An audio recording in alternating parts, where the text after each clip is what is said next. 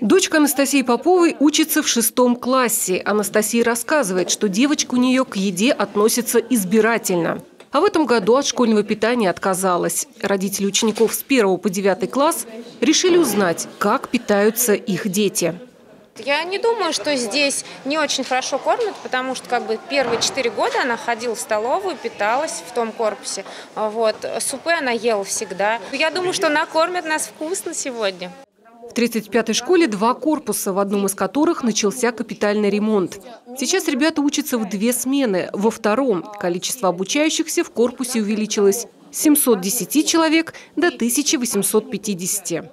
Штат поваров у нас э, работает общим составом из первого и за второго корпуса. Поэтому бригады поваров хватает для того, чтобы обеспечить всех детей питанием. У детей начальной школы, соответственно, э, по весу чуть меньше, у детей уже с 12 лет чуть больше порции.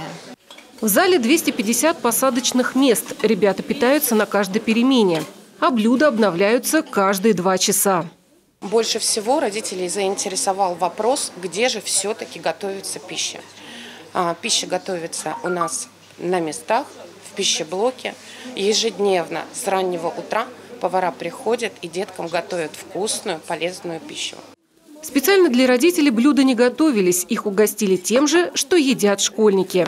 По итогам проверки родительский контроль сообщил, что претензий кухне не имеет.